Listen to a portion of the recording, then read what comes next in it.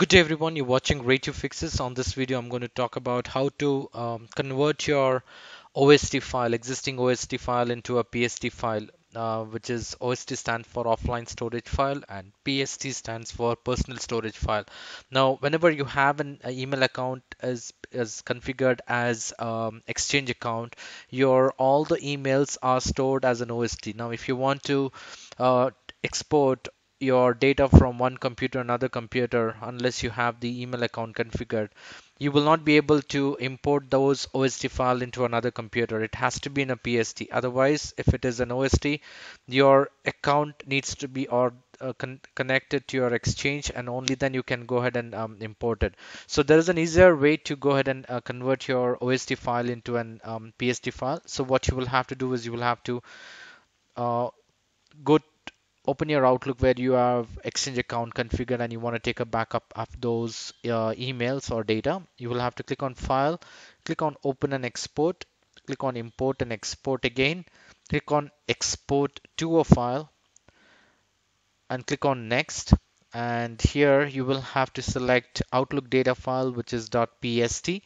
Click on Next, and here you will have to select your exchange account. In my case, I have this email account as configured as an exchange and check the box which says include subfolders, which means that if you have any subfolders which needs to be included, you will have to go ahead and check this box.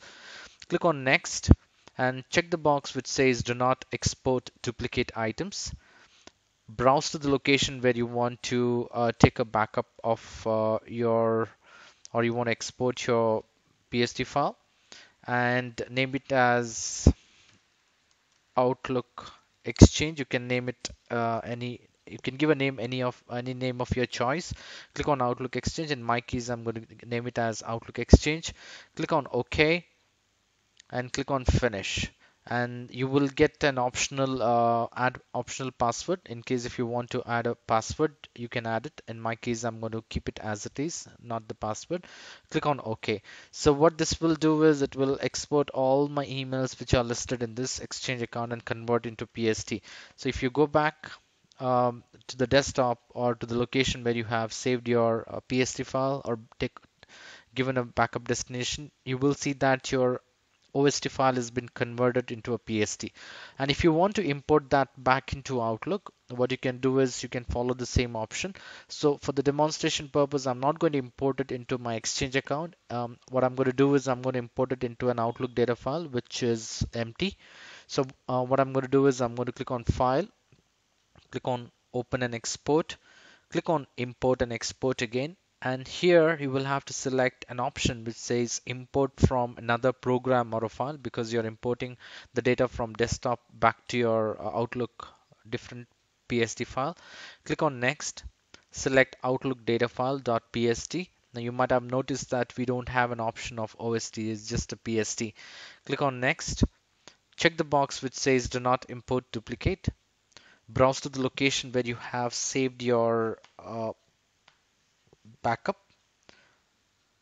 I'm going to select Outlook Exchange.pst, the one which I've backed up earlier. Click on Open and click on Next. And here, click on Finish. So if you look at the screen, uh, you will see that all the emails what I had in an Exchange account has been uh, imported uh, has been exported and then imported back into an Outlook data file. So this is the easiest way to export or convert your OST file into a PST file. I hope this video was useful. In case if you like this video, please make sure you hit the like button and do not forget to subscribe to my channel. Thank you. Have a great day.